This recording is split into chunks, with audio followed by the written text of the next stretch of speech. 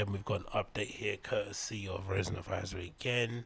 This time announcing the new Printworks up and coming club nights.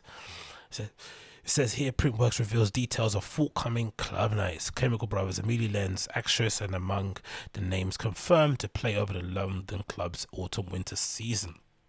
So I don't think they've have they been open properly just yet. I'm not too sure, but tickets have been selling out.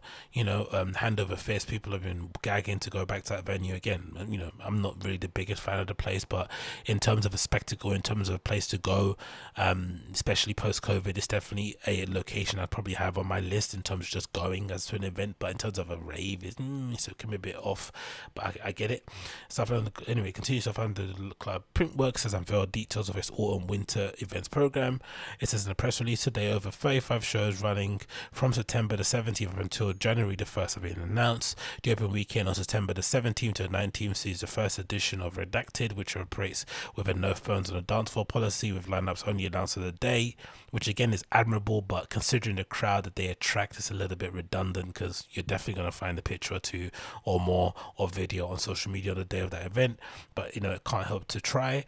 It says October will see Sound Crash with Jon Hopkins, Model Leska, uh, Modeselektor, sorry, actress, among along with the Hacienda Classical, Regenerate Nights curated by Clapton and Green Velvet that Hacienda the classical, mate. White people love that shit in it. They love classical kind of, but I get it in it because if you lived during that Hacienda era, to see them sort of like you know give a rendition with a classical music set, a classical orchestra, whatever it may be, um, it's definitely going to bring back some nostalgic thoughts for you. But it's just it's just funny. It just reminds you of that kind of classical techno shit they do.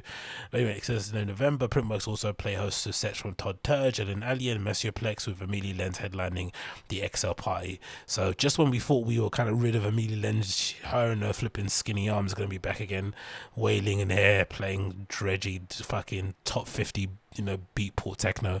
Like nothing changes and everything remains the same. No, everything, yeah, everything remains the same in the dance music in the post COVID, which again is not a bad thing because as much as these people are, you know, a little bit redundant and boring they also need a way to make a living. You know what I mean? That's the real weird part about all this discourse that exists where people be like, oh, how can you book certain artists that are playing plague raves and all this malarkey? It's like, yeah, they were playing the plague raves because they needed the money to eat. And now that the clubs are open, they need the money to survive and to pay their rents. Do you know what I mean? Like, I don't exactly blame these guys for deciding to take the gigs. Like, those plague raves as well looking back, it's never really, in my opinion, it was never really the fault of the the contractors, the independent contractors the years ago and play.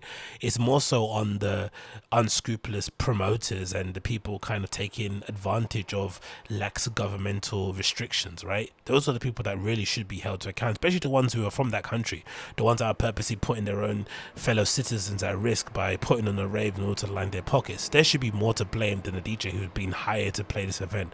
I don't think they have really any say in if the event goes on or off, right? Because they're not organizing it. If there's one thing I know being a promoter and obviously doing my DJing thing on the side is that the one thing that you can never really the one thing that's very difficult to get a DJ to do is to promote a party, even if it's just sharing something on their social media feed, right? They're notoriously just, you know, um, and uncooperative when it comes to that kind of stuff. Maybe because they just don't think it's something that they need to do because they're being booked to play or because they're lazy. It doesn't matter.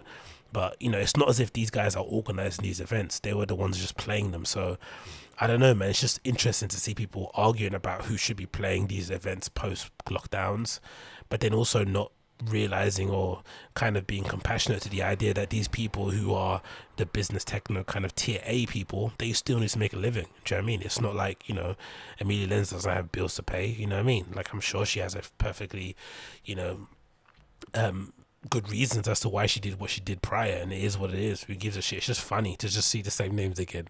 It's just funny, most so in my opinion, because people made such a big stink about things changing when they obviously weren't going to change. I, I, knew it from the start because you know the reality is that these places have to make money too. They have been closed for two years.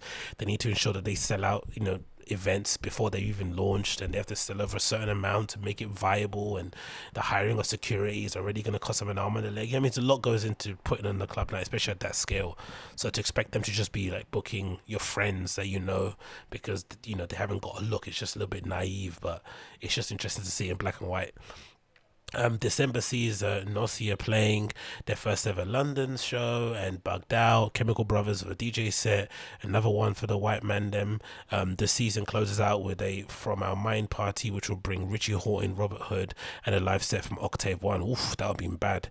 Um, additionally, Printworks recently revealed Inkwells, a space within the building, which has been made as, which has been made open to the public for the first time, which as an additional room at the selected venues read below for more details blah blah blah blah. So yeah um big big list of events coming forward for printworks.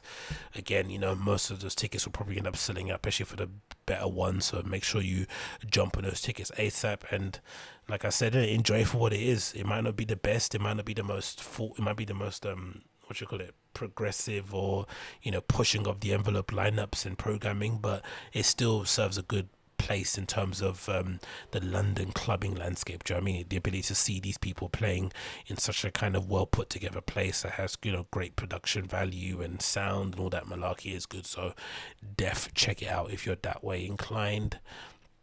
Def check it out. Am I still?